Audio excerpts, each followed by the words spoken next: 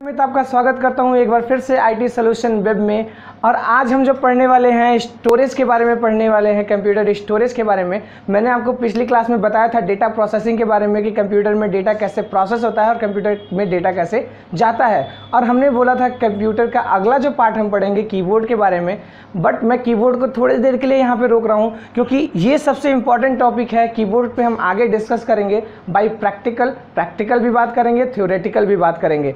एक एक की के बारे में। लेकिन सबसे पहले अगर मैं इसकी बात करूँ तो ये जो स्टोरेज है, हम, मैंने आपको बताया था कि कंप्यूटर में चार काम होते हैं, जो कि सबसे पहला अगर मैं बात करूँ तो इनपुट के बारे में होता है। इनपुट होता है कंप्यूटर में डेटा अंदर जाता है, फिर उसे क्या किया जाता है? उसे स्टोर किया जाता है। तो वो स्टोरेज के बारे में आज आप पढ़ने वाले हैं। इनपुट में आपको पढ़ा चुका हूँ, और प्रोसेस और आउटपुट तो प्रोसेस के बारे में भी पढ़ेंगे। प्रोसेस बहुत छोटा टॉपिक है, उसमें हम डिस्कस कर लेंगे इसी टॉपिक के अंदर में। इनपुट पढ़ा चुका हूँ मैं स्टोरेज पढ़ाने जा रहा हूँ, फिर प्रोसेस और फिर हम आउटपुट के बारे में पढ़े चुके हैं। तो अगर मैं स्टोरेज की बात करूँ तो स्टोरेज किसे कहते हैं? स्टोरेज क्या? जब भी भी हम कोई कोई भी डेटा डेटा कोई भी डॉक्यूमेंट स्टोर करके सुरक्षित रखते हैं अपने कंप्यूटर के अंदर, उसी को स्टोरेज कहा जाता है। कंप्यूटर में स्टोरेज जो होती है दो भागों में बांटा गया है।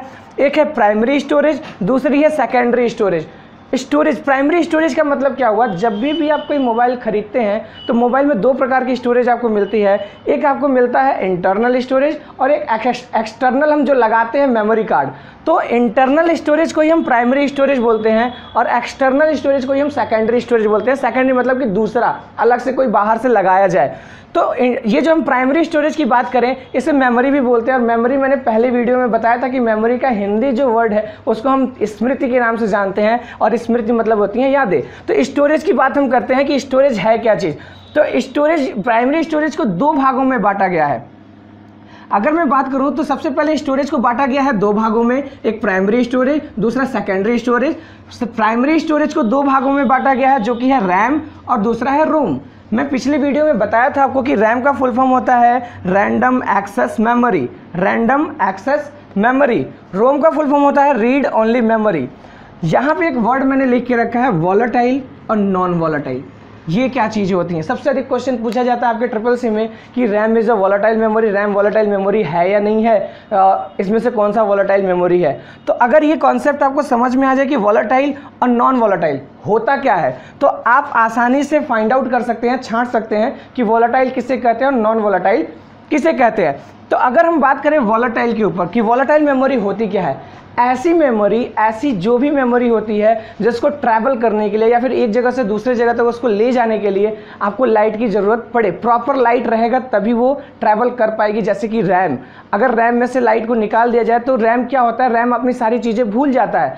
तो ऐसी मेमोरी जिसको ट्रैवल करने के लिए हमेशा लाइट की ज़रूरत पड़े, उसको हम बोलते हैं volatile memory non volatile memory उसे कहते हैं जिसको ट्रैवल करने के लिए लाइट की आवश्यकता ना पड़े। जैसे कि अगर हम बात करें, यहाँ पे मान लीजिए हार्ड डिस्क हो गया पेन ड्राइव हो गया, जो भी हो मेमोरी कार्ड हो गया। अगर एक मेमोरी कार्ड में हम डेटा को स्टोर करते हैं और स्टोर करके दूसरे जगह लेके जाते हैं तो स्टोर करते समय हम सिस्टम में लगाते हैं, फिर वहाँ ले जाने के बाद सिस्टम में लगाते हैं। यानी कि बीच में का जो गैप है उस समय वो मेमोरी अपनी गायब नहीं होने देता, जाने नहीं देता। उसी को हम बोलते हैं नॉन वॉलेटाइल तो रैम इज़ एक वॉलेटाइल मेमोरी अगर आपसे क्वेश्चन पूछता है कि रैम वॉलेटाइल मेमोरी है या नहीं तो रैम एक वॉलेटाइल मेमोरी है।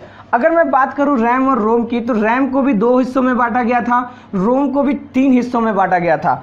रोम की अगर बात करें तो एस रैम और डी रैम एस रैम का मतलब होता है स्टैटिक्स रैम और डी रैम का मतलब होता है डायनेमिक रैम अगर मैं इसके दोनों के डिस्कस करूँ, ये ट्रिपल सी के सिलेबस में इतना डीपली पूछा नहीं जाता है, लेकिन फिर भी अगर मैं बताऊँ कि एस रैम का मतलब होता क्या है स्टैटिक्स रैम का मतलब होता क्या है, ऐसे रैम जिसे आप बदल, वो बदला नहीं जा सकता, वो वैसे ही सुरक्षित आपको दिखेगा।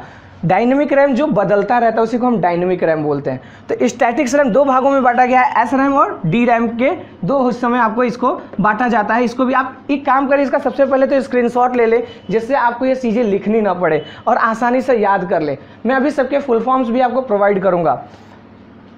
अगर हम बात करें रोम की तो रोम क्या है? रोम आपका चार हिस्सों में बांटा सॉरी तीन हिस्सों में बांटा गया है P ROM. Programmable read only memory, इसका पूरा नाम है read only memory, programmable read only memory E P ROM erasable programmable read only memory, और ई पी रोम का मतलब क्या है? ई पी रोम किसको बोलते हैं? Electric erasable programmable read only memory. बिल्कुल घबराने की बात नहीं है। ये जो वीडियो के लास्ट में सब सब, सबसे लास्ट में मैं जितने भी फुल फॉर्म में पढ़ा चुका हूँ, जैसे सीपीयू का यूएसबी का ओएस का ई पी रोम का रोम का सेकेंडरी स्टोरेज जितने भी सारे फुल फॉर्म्स जो है, मैं एक चार्ट बना करके यहाँ रखूँगा। आप स्क्रीन ले लीजिएगा, जिससे आपको बिल्कुल आसान तरीके से वो याद हो सके और आपको लिखना भी ना पड़े। तो हम बात कर रहे थे रोम के ऊपर। तो रोम एक नॉन वॉलेटाइल मेमोरी है, क्योंकि हम इसको कहीं भी बिना लाइट के भी ट्रैवल करा सकते हैं। तो ये क्या है? नॉन वॉलेटाइल वोलेटाइल मेमोरी इसे तीन हिस्सों में बांटा गया है।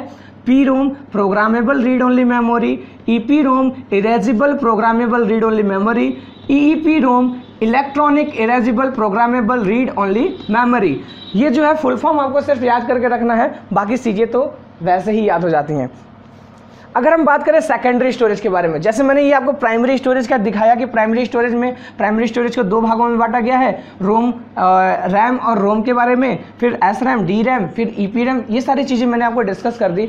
अब हम बात करेंगे सेकेंडरी स्टोरेज के बारे में कि सेकेंडरी स्टोरेज क्या होता है।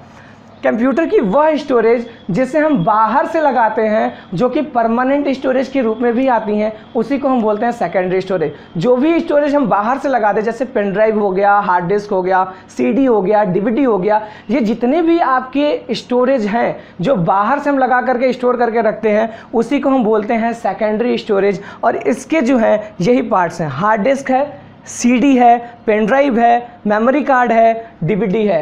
अगर मैं बात करूँ कि सीडी का फुल फॉर्म तो कॉम्पैक्ट डिस्क डीवीडी का फुल फॉर्म तो डिजिटल वर्सटाइल डिस्क अभी वीडियो के लास्ट में मैं आपको सारे फुल फॉर्म्स दे दूँगा। आप स्क्रीनशॉट ले लीजिएगा, जिससे आपको लिखना ना पड़े। और याद रहे स्पीड टेस्ट आपको ज़रूर देना है और आपका नंबर सबसे ऊपर होना चाहिए। तो ये जो थी, ये सारी चीज़ें क्लियर हो गई।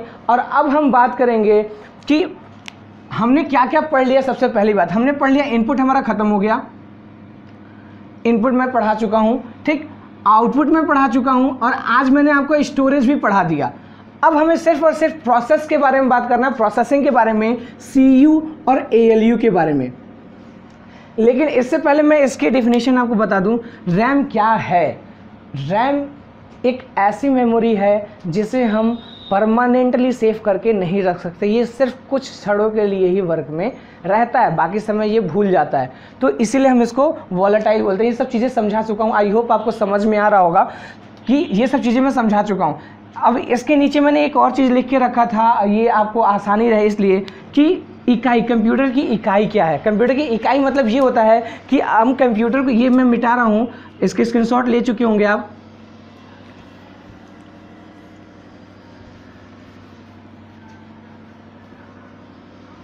कंप्यूटर की इकाई क्या है? इकाई का मतलब ये होता है कि हम जब भी कोई चीज़ अपने घर में रखते हैं तो उसको किसी हिसाब से, जैसे मान लीजिए अगर मेरे पास एक अलमारी है तो उस अलमारी की कैपेसिटी होती है कि इस अलमारी में इतना ही चीज़ रखा जाएगा। वैसे ही कंप्यूटर में भी हर एक चीज़ रखने के लिए एक जगह निर्धारित की गई है कि इसमें कितना चीज़ें रखी जा सकती हैं। तो कंप्यूटर की जो सबसे छोटी इकाई होती है, एक निबल में चार बाइट होते हैं। और एक बाइट में आठ बीट होते हैं। आपसे ये क्वेश्चन हो सके ना पूछा जाए, लेकिन यहाँ से पूछा जाता है कि एक बाइट में कितने बीट होते हैं? तो एक बाइट में आठ बीट होते हैं। ठीक है ना? बीट्स इसको बोलते हैं, आठ बीट्स होते हैं। अगर मैं बात करूँ एक केबी की, एक किलो बाइट की, जो हम एक केबी होती है ना, एक किलो एक किलो बाइट में हम एक हज़ार चौबीस, एक हज़ार चौबीस बाइट रख सकते हैं। ठीक है? एक किलो बाइट में हम एक हज़ार चौबीस बाइट रख सकते हैं। और एक एमबी में हम क्या रख सकते हैं? अब जैसे मान लीजिए आपके पास एक मोबाइल है, जो छोटा वाला मोबाइल है, और उसमें पुरान मतलब जो कीपैड वाला मोबाइल आता है, उसके अंदर इंटरनल स्टोरेज में सिर्फ़ और सिर्फ़ कुछ के और कुछ एमबी की ही स्टोरेज रखी जाती है। कुछ छोटी सी स्टोरेज होती है। यानी कि अगर मान लीजिए मेरे पास एक एम की स्टोरेज इंटरनल में दी गई है तो यानी मैं इसके अंदर कितनी फ़ोटो रख सकता हूँ? तो जितने भी हैं, एक हज़ार चौबीस के बी तक की फ़ोटोज़ में रख सकता हूँ। जैसे आपकी मान लीजिए चार के बी की फ़ोटो है तो चार के बी की हम फ़ोटो के हिसाब से बहुत सारी फ़ोटोज़ उसके अंदर अभी हम रख सकते हैं। यानी कि एक एमबी बराबर कितना होता है? एक हज़ार चौबीस के बी हमेशा से यही पूछा जाता है कि एक एमबी में कितने के बी हम रख सकते हैं, एक के बी में कितना रख सकते हैं और बाइट तक। अगर मैं बात करूँ कि एक एम की, आपके पास जो मेमोरी कार्ड होता है, वो मेमोरी कार्ड होता है टू जी तो अगर मैं बात करूँ टू जी बी तो एक जीबी में, एक जीबी में कितने एम बी होते हैं और एक एम बी में कितने केबी होते हैं? तो अगर यहाँ पर देखते हैं आपकी एक एम में एक हज़ार चौबीस के बी और एक जी बी में एक हज़ार चौबीस एम बी रखा जाता है। यानी कि अगर आपके पास एक एम की स्टोरेज एक जी की स्टोरेज है तो आप क्या कर सकते हैं? एक हज़ार चौबीस एमबी तक की चीज़ें इसमें रख सकते हैं। तो ये ये सारी चीज़ें यहीं तक पूछी जाती हैं आपके। तेरह बाइट तक सबसे अधिक चीज़ पूछी जाती हैं कि एक बाइट में कितने बीट होते हैं। और सबसे इंपॉर्टेंट क्वेश्चन ये है कि एक बाइट में कितने बीट होते हैं। और एक किलो बाइट में एक हज़ार चौबीस और एक मेगा बाइट में एक हज़ार चौबीस के बी होती है। तो इसे आप लिख लें या स्क्रीनशॉट ले लें। मैं यहाँ पे चीज़ें प्रदर्शित भी कर रहा हूँ, दिखा भी रहा हूँ, आप स्क्रीनशॉट ले सकते हैं। अब हम बात करने वाले हैं प्रोसेसिंग के ऊपर। के बारे में बात करें तो प्रोसेसिंग क्या है? प्रोसेसिंग के दो हिस्से में बांटा गया है, जो कि एक है सीयू और दूसरा है ए आपको ब्लॉक डायग्राम याद होगा कि ब्लॉक डायग्राम मैंने बनाया था, ये ब्लॉक डायग्राम जिसमें आपको सारी चीज़ें डिस्कस की थी मैंने।